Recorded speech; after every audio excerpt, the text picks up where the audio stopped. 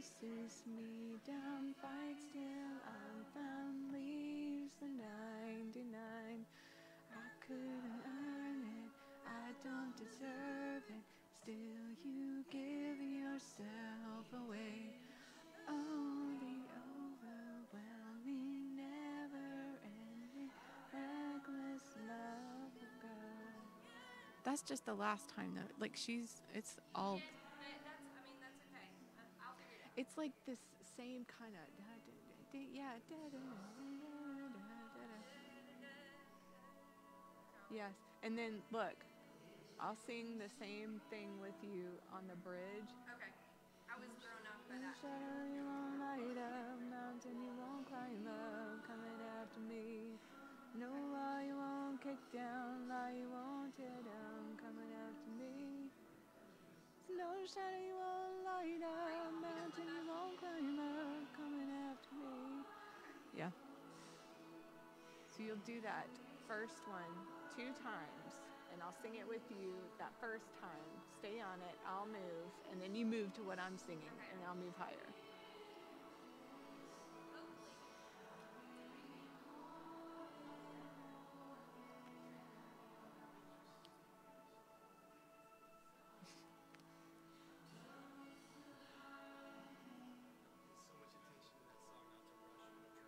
My gosh, I know.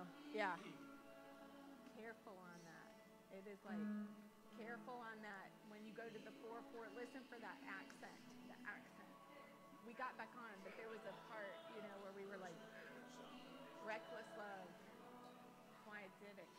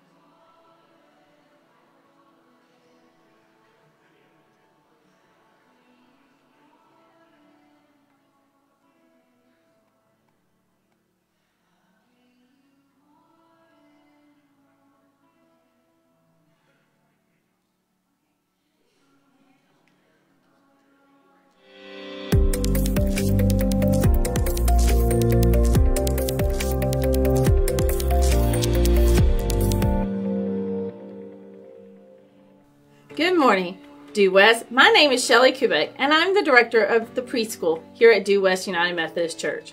I'm glad that you are joining us in worship this morning. As we worship together, here are a few things to be aware of. Mark your calendars to attend Monumental VBS Monday, June 6th through Thursday, June 9th. It will be a wonderful time for our kids to learn all about God's love. Online registration officially opens today. If you are interested, you can sign up through the sign up tab on Church Center. Looking for something to do this summer? Due West is offering a variety of summer camps for kids of all ages. Sports camps, science camp, preschool camp, and musical theater camp are just a few. Be sure to check out duewest.org forward slash camps for a complete list and to register. High school seniors and current college students are invited to apply for the Due West United Methodist Men Phil McGuire Memorial Scholarship. The applications for this scholarship can be found on the youth page of the website. Applications are due back by May 20th, and recipients will be invited to a luncheon on July 10th. If you have any questions, reach out to the church office. We are so excited about the work and ministry of Waymakers Women's Center. Next Sunday on Mother's Day, Waymakers is going to be sharing a way for you to continue to support their work. Save your change and look for announcement next week. Now join us together and worship Jesus the Christ. Good morning. Good Morning. Great to see you this morning. We're glad to have you here. Uh, usually, uh, our Lathan Pastel, uh, one of our pastors, would be here welcoming you, but he is home with his wife. Uh, if nothing happens in the next less than 24 hours, they will induce Cami tomorrow morning at 6 o'clock. Uh, so that's exciting news. Keep them in your prayers. Uh, also, just some good news. We've been asking you all about helping us raise money for the roof of Building A. Uh, we needed $95,000 by the 15th of May. We had over $100,000 as of last week. So that's something to praise God for. So we appreciate your generosity. And if there's if you're wondering, what are you going to do with all that extra money? Good news, we have other things that need to be done around these buildings. Uh, so that it will be put to good use. But thank you for that. Finally, if you're new with us, please make sure you stop by our visitor center, uh, see what's going on in the life of the church, uh, and, and let us know who you are. Let's pray. Lord Jesus, as we prepare to, to worship you together, we are so thankful that your spirit is in this place. Lord, move us, move in us, move through us, move among us, so that you will be drawing us closer to you. In Jesus' name, amen. Good morning. I want to invite you guys to stand up. We're going to worship God today. We're going to start by making a joyful noise and a loud noise, and we're going to give Him all the glory. Yeah. Come on, let's put your hands together.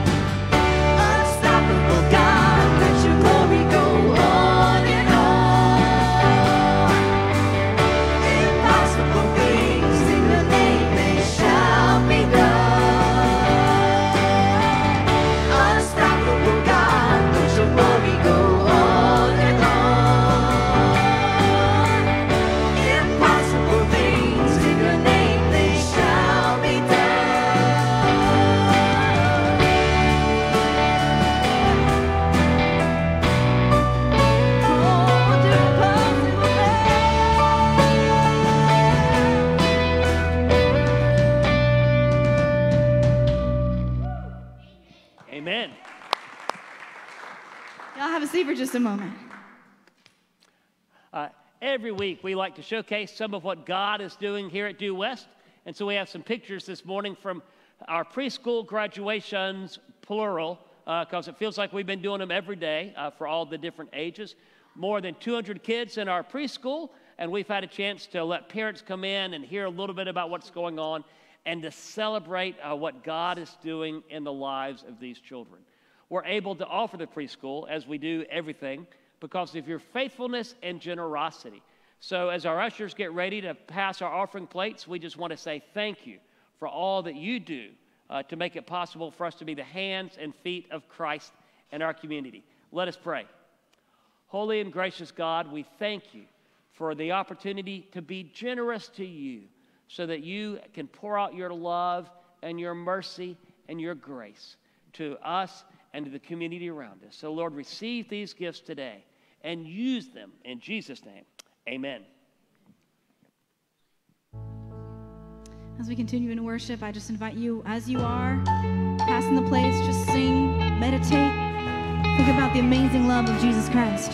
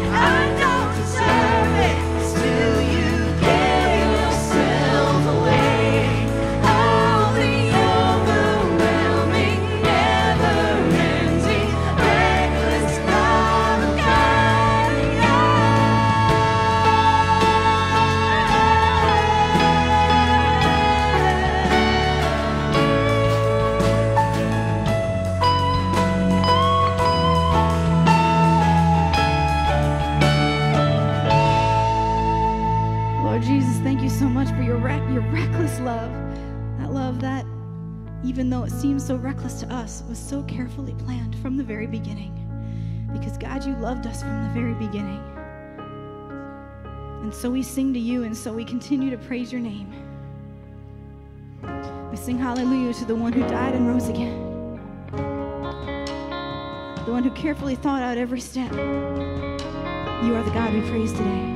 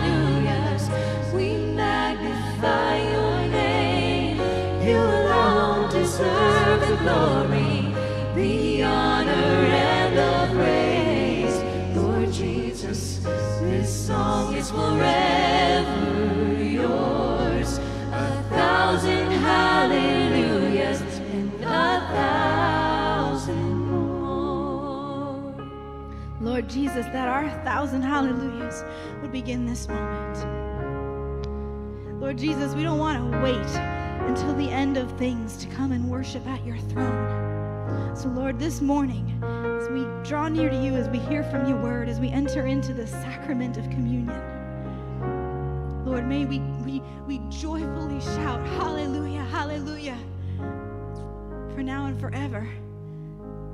May that word never leave our lips. Hallelujah. Because, God, what a shame it would be if we didn't get to worship you every breath we took. Lord, let us not wait. Convict our hearts. Draw us to you. In the name of Jesus, we pray. And all God's people said, Amen. You may be seated.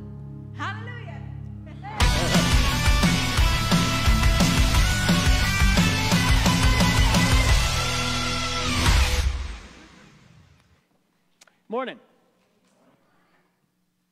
Uh, our scripture this morning comes from Luke's Gospel, 24th chapter, starting with verse 33. If you have your Bibles, Luke 24, starting with 33, or as always, it's on the screen. This is what it says They got up and returned at once to Jerusalem. There they found the eleven and those with him assembled together and saying, It is true, the Lord has risen and has appeared to Simon. Then the two told what happened on the way and how Jesus was recognized by them when he broke the bread. While they were still talking about this, Jesus himself stood among them and said to them, Peace be with you. They were startled and frightened, thinking they saw a ghost. He said to them, Why are you troubled? And why do doubts rise in your minds? Look at my hands and my feet. It is I myself. Touch me and see. A ghost does not have flesh and bones as you see I have. When he had said this, he showed them his hands and feet. And while they still did not believe it, because of joy and amazement, he asked them, Do you have anything here to eat? They gave him a piece of broiled fish, and he took it and ate it in their presence. Let's pray. Lord Jesus, speak to us this morning. And speak to us as you spoke to your disciples and assured them of what was next. In Jesus' name, amen. So, what's next? That's the series that we're starting today. And you might notice there's no punctuation there, although there could be. You could have a question mark, because sometimes people want to know what's next. You could have an exclamation point, because sometimes you want to say to somebody, Let me tell you so you know what's next.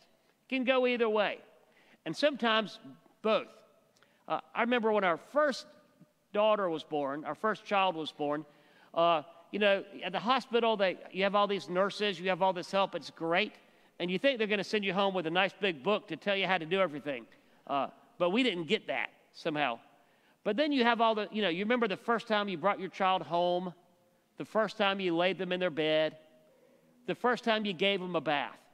Well, the first time we bathed our daughter, uh, we got this little baby bathtub, right? Uh, my wife is here. We uh, put it on the kitchen counter and we ran the water till we got just the right temperature. Check it, you know, then you filled the tub. Does it feel good to you? It does. How about you? Yeah. You want to double check? Well, yeah, we probably ought to. Still feel okay? Yeah. And by the time you assure yourself it's okay, it's gotten cold, right? So then you have to dump it and start all over. So we started all over, and so we've got this thing filled with a, just the right temperature. We lay our precious firstborn child in it, and we look at each other like, now what? Uh, we had never done that before. What's next? I get, you don't get a book. So we're staring at each other. Fortunately, her mom was in town, and as it turns out, her mother had actually bathed a real baby before. Uh, she had some experience. So she was able to tell us this is what's next. Here's your next step. Sometimes it's a question, sometimes it's an assurance. There's some things I just like about those two words. They lean forward, right? you know you're talking about something to come. Nobody strolling down memory lane, talking about the good old days, is worried about what's next. They're in the past. These two words are pointing you to the future. And even if you're unsure and apprehensive about what's next, you know something is. Something is next. There's this sense of anticipation. So, for the next few weeks, we're going to be looking at some scriptures where there was this sense of anticipation. People are looking, the disciples of Jesus specifically, were looking into the future, wondering what's next. All of our scriptures will come after the resurrection. We just a couple of weeks ago celebrated Easter. So we're going to be looking at scriptures that take place after the resurrection of Jesus. Now, for us, Easter is a time of joy. But if you read the Easter stories in the Gospels, for the disciples, there was fear, confusion. They wanted to know what's next. And so Jesus was there to tell them and us what was next. Our first scripture in this series comes from Luke 24. Uh, in Luke 24, the Easter story is there, of course. Women come to the tomb. The stone has been rolled away. They're not sure what to do. They run and they tell some of Jesus' disciples. And it says that Simon Peter, we all know about Simon Peter, he came and looked at the tomb. And this is what it says about it. He went away wondering to himself what had happened. So he goes away scratching his head. We're still on Easter morning. After that, Luke tells us that there were two disciples. One is not named, the other is named Clopas. Anybody name your child Clopas? Yeah, okay. I just thought of that. Uh, it says that they take a walk from Jerusalem, where the crucifixion and resurrection took place, to a village called Emmaus.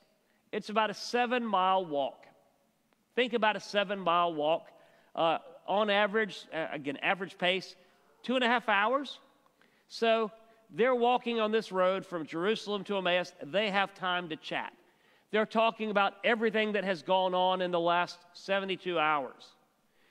Good Friday, Saturday, which was quiet, and now the rumors from Sunday morning. And the story says suddenly a third person was with them. Now we know it was Jesus. But they didn't realize that yet. So all they know is suddenly there's a stranger walking with them. So he walks up and says, Howdy, boys. Uh, what you talking about? What's going on? And they said, What do you mean, what's going on? Uh, are you the only one that doesn't know what has just happened? Don't you watch the news? And he says, Well, I would watch the news, but my cable's out. I have Comcast. Uh, and uh, so they have to say, Well, let us tell you, we had this buddy named Jesus. And we thought he was the man. We thought he was the one that would redeem Israel. We thought he was really the Messiah. But then on Friday, we saw him die. But this morning, some of the women in our group, they said they'd seen him. They said he's alive. We don't know what to think. And so Jesus says, How foolish you are and how slow to believe all that the prophets have spoken. In other words, the prophets tried to tell you what was coming next, and you missed it. And so it says that beginning uh, with the Old Testament, Jesus walks them through the scriptures, how they all ultimately point to him, to his life, his death, and his resurrection. And they get to Emmaus, and he says, Well, it's been fun, but y'all, I got to go on. Jesus, I'm sure, said, Y'all, uh, I got to go on. And they said, Listen, it's dinner time. Why don't you stay? So they gather at the table. And Jesus, who is the guest, they think, sits down and takes the bread, which normally a host in their culture would have done. Thanks God for it, breaks the bread, and gives it to them, just as he had done less than 72 hours earlier with his disciples in the upper room. And it says, in that moment, they know, they know that it's Jesus. And then it says, Jesus disappeared. And then they returned to Jerusalem. Verse 33, uh, where we started, they got up and returned at once to Jerusalem. This is the they they're talking about. These two disciples that just walked that walk with Jesus. They got up and returned to Jerusalem. Now remember, they started their day in Jerusalem. They walked seven miles to Emmaus. Now they're going to turn around and go seven miles back. It might have been a leisurely stroll, stroll from Jerusalem to Emmaus, but you know they went back on a dead sprint, right? They couldn't just pull out their phone and say, You won't believe who just sat down at my table. They couldn't do that. They had to go back to Jerusalem. So they're running back full speed to tell everybody the news. And you know how that conversation's going. As they're running along side by side, one of them says, I knew it was him all along. And the other one, oh, no, you didn't. yeah, I just didn't want to embarrass you. Uh, but they get back to Jerusalem, where the disciples are hiding out in an upper room. Now, Luke doesn't tell us that they're hiding out behind locked doors, but John's gospel does. They're afraid, they're grieving, they're confused. They're hearing all these stories, but they also know the Romans put Jesus to death, and who knows, maybe they'll come for them next. So they're hiding out. They're hiding out. When these two guys come in and they say, It's true, the Lord has risen and has appeared to Simon. The Lord has risen and has appeared to Simon. But the disciples, these guys who spent three years with Jesus, where are they? They're hiding out behind a locked door. If you ever wanted to hide out, maybe you were unsure of what was next, maybe you were frightened by what was next, maybe you didn't want to face what was next. You ever just wanted to go into hiding? It's amazing how many people have had that feeling, and how many people that might surprise you that actually have done it. There's a great story in the Old Testament.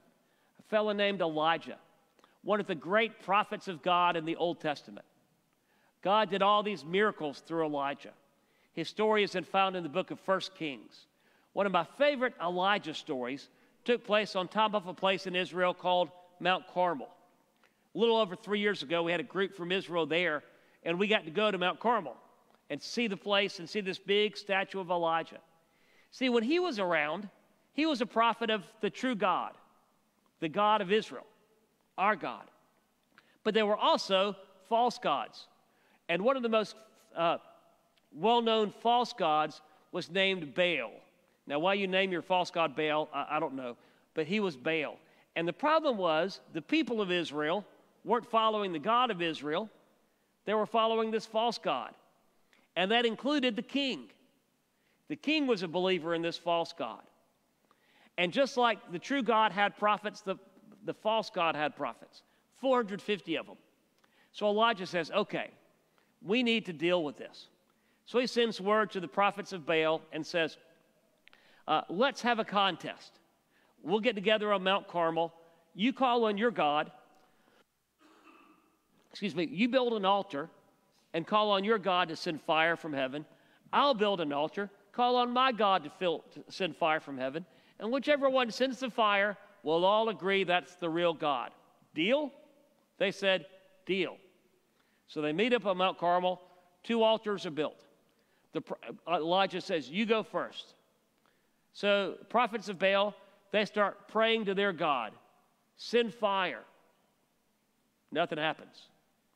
They pray more. They cry out more. Send fire. Nothing. Well, this goes on for a good chunk of the day. And finally, Elijah says, Hey, why don't you yell a little louder? Maybe your God's in the back taking a nap. I mean, he just starts mocking him. I know it's hard to believe that a man of God can be filled with so much sarcasm. I know that's a shock to y'all, uh, but it does happen from time to time. Uh, so he just goes at him, and nothing. But then it's Elijah's turn. He says, Listen, let's make this interesting. Get some water and douse my altar with water. So they do. Do it again. Do it a third time.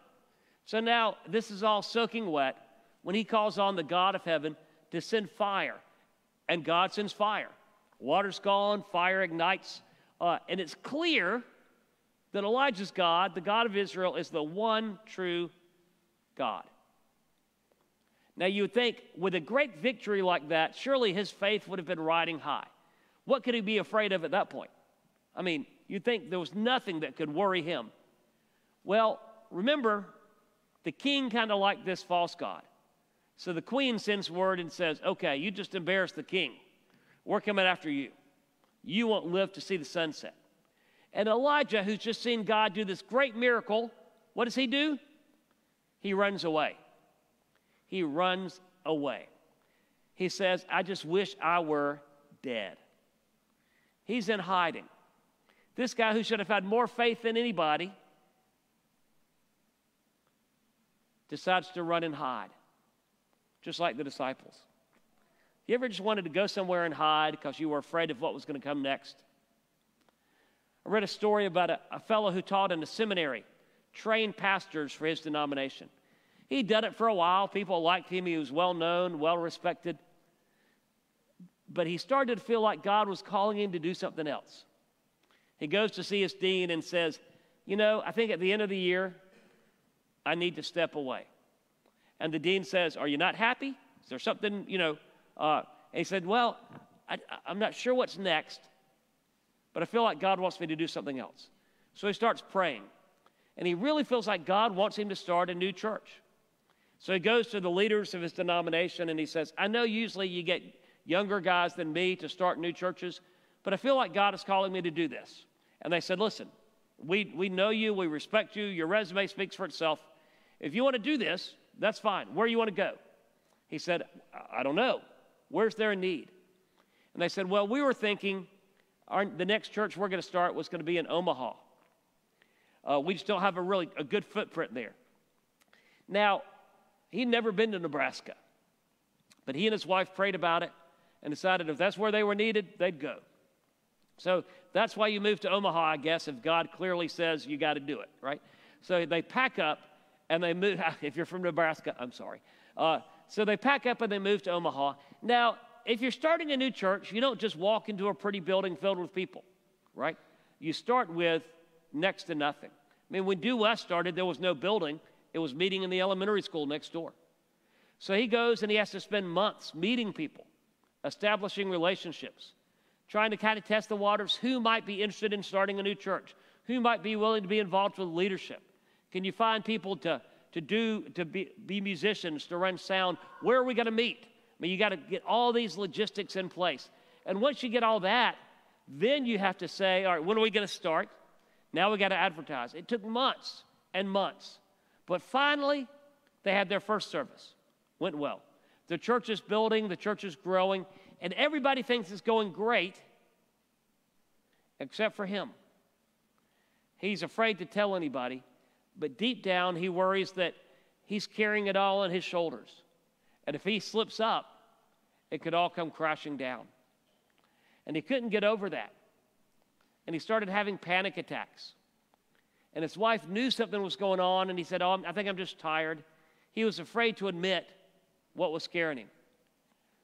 But pretty soon, he started finding reasons to skip out on church meetings. He wasn't following up with people, and people started to notice something's going on. He said, I think I just need a break. So he took some time off. But the reality is, for all that all the ways God had blessed him, he was trying to find a way to go into hiding. If you ever just wanted to go and hide out somewhere because you were afraid of what was next. Well, he did. He did talk to a friend, got some good counsel, and he prayed a lot. And later in telling the story, he said, I was praying and he said, I, I never heard God's audible voice, but I did feel like God was speaking to me. And it's almost like he said, So, have you ever read the Bible? Well, yeah, yeah I used to teach it. God, yes, I've, I've read the Bible. Have you ever read Matthew's Gospel? Yes, Lord, I, I'm familiar with it. I've read Matthew's Gospel. Do you remember what I said to Simon Peter at Caesarea Philippi? Yes, Lord, I know the story. What did I say? You said, On this rock I will build my church. And the Lord said, That's right. I didn't say on this rock you'd build my church, but somehow that's what you heard. Because that's what you're trying to do. You need to realize you're not in the building business. I am. You serve, let me build. You're worried that it's going to crash down because you think you're building it. Once you realize I'm building the church, you realize my church will stand. Elijah wanted to hide, and he did. He's hiding in a cave. And you know the story? It says that a big wind comes along, but the voice of God was not in the wind. And then there's an earthquake, but the voice of God is not in the earthquake. And then there's a fire, but the voice of God is not in the fire. Finally, there's a still small voice where the Lord says to Elijah, Don't be afraid. I'm with you. I've got this. The disciples were locked in the upper room. They were afraid of what was next. They were hiding out. And what does it say? Suddenly, Jesus appeared. Jesus himself stood among them and said to them, Peace be with you. Can you imagine? You're in there, you're scared to death, you're confused, you don't know what's next. Bartholomew looks at Matthew and says, What do you think we ought to do? He looks at John and says, You got any ideas? He looks at Jesus and says, Oh, hey, Jesus, I didn't know you were. How'd you get here? The doors are locked. And Jesus says, You're all worried about what's next. Let me tell you what's next. Peace be with you. My peace is next for you. Peace is, that passes all understanding. Take a deep breath and know that I'm here. I'm with you. Because here's the thing sometimes God's voice is clearest to us in those moments when we're trying to hide out. Those words of assurance, comfort, and peace. I'm sure it felt that way in the upper room. A lot of anxiety, a lot of uncertainty on Thursday night. Jesus is about to be arrested. The next day, he'll be crucified. They're not sure what's next. But Jesus speaks to them and speaks to us and assures us that He is with them as He's with us, assures them and us of His mercy, His grace, and His love. Let's pray. Lord, as we prepare to gather at your table, remind us that whatever's going on, even if we, like the disciples, might be filled with fear and confusion, you're with us. You speak words of comfort and assurance that the future is yours. You know what's next, and you'll be with us. So, Lord, as we prepare to receive this sacrament, we confess anything that's in our life that might separate us from you, anything that might distance us from you. Lord, take all that away so that we can draw near to your table, into your presence. In Jesus' name, amen. I remind you that on that night in the upper room, Jesus took bread, gave thanks to God, broke it, gave it to his disciples, and said, This is my body, and it's given for you. When supper was over, he took the cup, gave thanks to God, gave it to his disciples, and said, Drink from this, all of you. This is my blood of the new covenant, poured out for you and for many for the forgiveness of sins. Do this as often as you drink it in remembrance of me. Let us pray. Lord, pour out your Spirit on us as we gather here and on these gifts of bread and juice. Lord, make them be for us the body and blood of Christ, that we might be for the world the body of Christ redeemed by his blood. By your Spirit, make us one with Christ, one with each other, and one in ministry to all the world until Christ comes in final victory and we feast at his heavenly banquet. Through your Son, Jesus Christ, with the Holy Spirit in your holy church, all honor and glory is yours, Almighty God, now and forever. Amen. Let me invite those who are helping serve to come forward.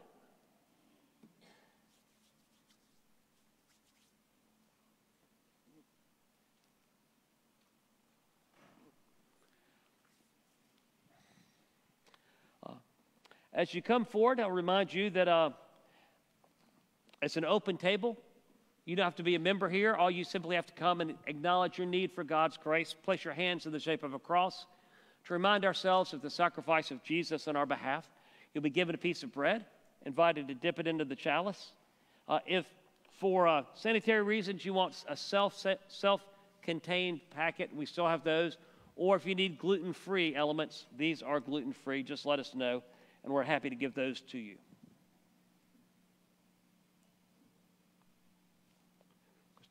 Body of Christ given for you. Body of Christ given for you. Body of Christ given for you. Blood of Christ shed for you.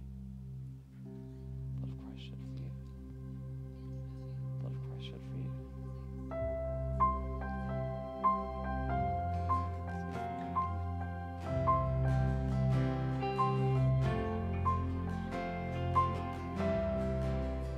Lord's table is open, and you're invited to come.